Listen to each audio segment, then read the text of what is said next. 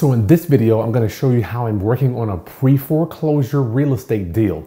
The house is going to the auction in a few weeks and we're putting it together to buy the property before it goes to the foreclosure auction. We're gonna buy it subject to the existing financing. Hopefully, I'm gonna go over the numbers and hopefully it, it all makes sense because you never really know till you get down to the numbers.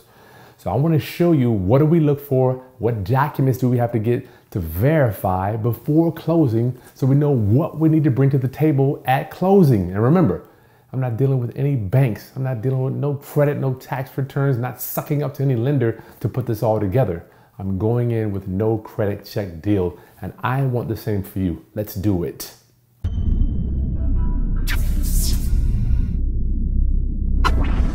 All right, class, it's Kris Haskins with therealestateroundup.com. My mission, my ministry is to raise your financial literacy through real estate investing and entrepreneurship. Listen, I believe you are the person that knows it's going to take some time to learn how to do this stuff the right way. You can't learn how to be a professional real estate investor or even go out there and buy a piece of real estate without using your credit on a one minute short video, on a reel, right? Everybody's like short form content, one minute. I believe you're smart enough to know that real estate investing is going to take time. That's why you hang out with me on my channel.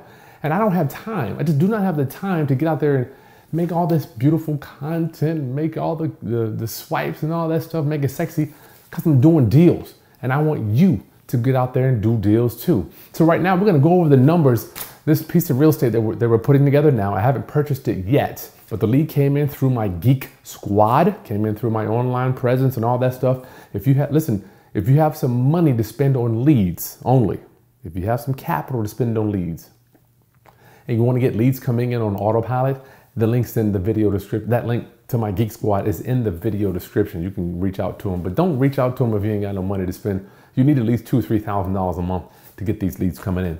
So this lead came in, the people are behind in payment, behind in, in their monthly payments.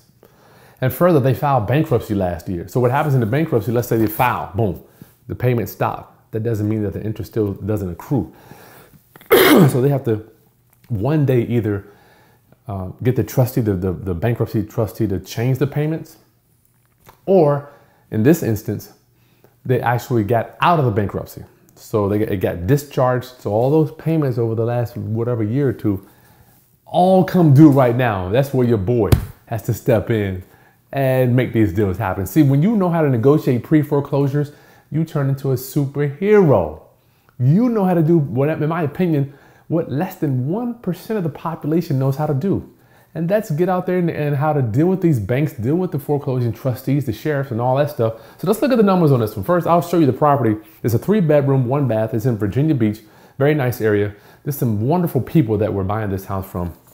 And you got to understand, this is a people business. I never forget how many times have I taken people to lunch, um, went to the house, visited, visited their families, send them different cards, get referrals from them, just hang out with people because if you're not willing to get to know people, maybe real estate isn't for you.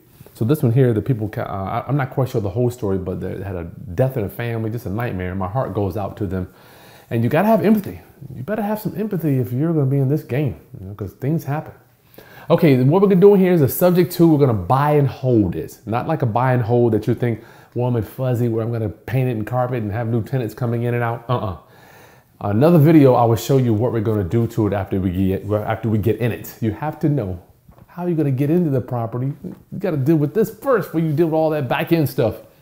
All right, first thing we're gonna need, what are the documents that we need? If you don't, uh, if you don't know, the documents we need to put together to buy a house subject to. The first thing is the mortgage statement. You gotta have the mortgage statement. Without that, you don't know what the monthly payment is. You don't know what they owe. How much are they in arrears? So this one here, you're gonna bring, I'll show it on the screen here. The monthly payment is going to be 1100 let's just say 1100 bucks. And that includes PITI, that's principal, interest, taxes, and insurance. All that stuff rolled up into one. All right. The next thing is the principal owed. That's going to be 119,000. Now it is that is not on the on the mortgage statement, but it is on the paperwork that I got from the foreclosing trustee. So when you're going to buy a property subject to before the foreclosing before before the foreclosure auction, you have to order all the figures from the trustee because sometimes the bank might be behind.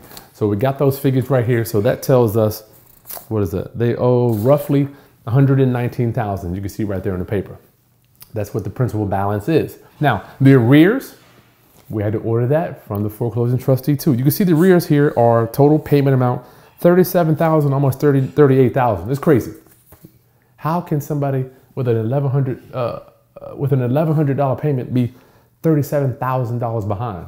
Well, a whole bunch of stuff, no doubt, has been added in, and they probably haven't made a payment in two to three years, right?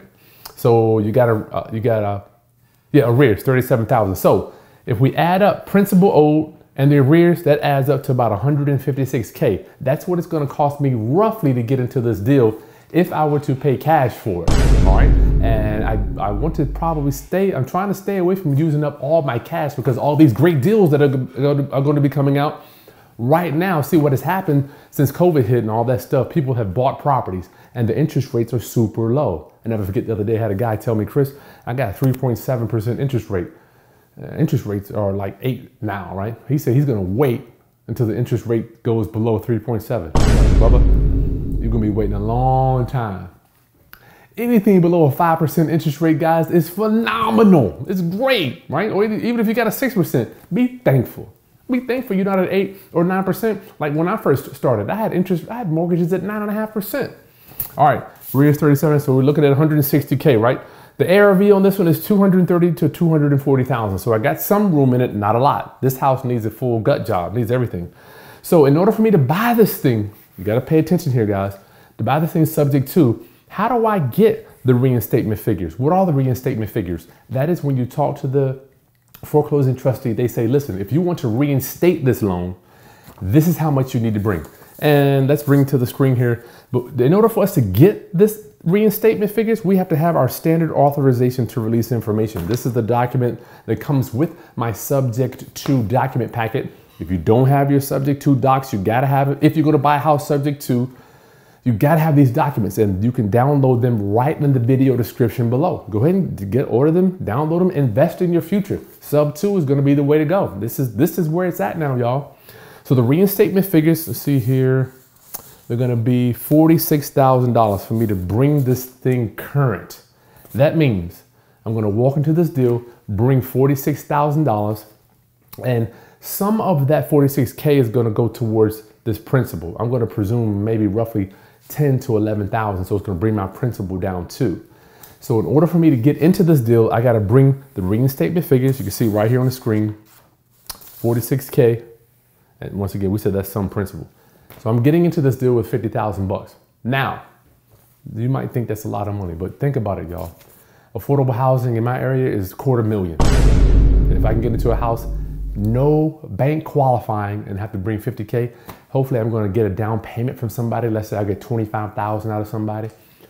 The monthly payment's 1100. I'll be able to cash flow at 15, 1600. I'll make 500 bucks a month those deals are the deals that still work. See, when you get to a certain uh, different people or different levels of real estate, all we do now is look for places to deploy capital.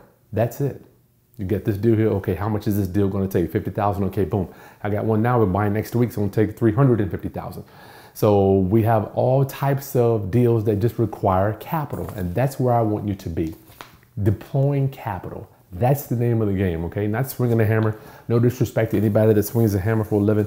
It's challenging to do, but I want you out of that business and just making decisions for capital and acquisitions, all right? So these are the numbers here for our new subject to transaction. Remember, we're buying it subject to the existing financing. That means we're just taking over the payments. And you can do the same.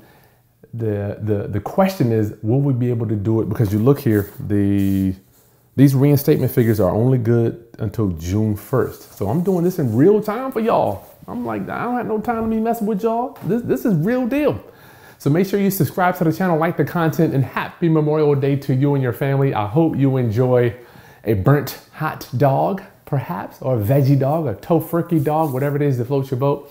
And I look forward to seeing you on the next video where uh, I'm gonna show you how we negotiated this. And further, I'm gonna take you to closing, hopefully if we get it closed, so you can see how does all this stuff come together. You gotta have all these documents.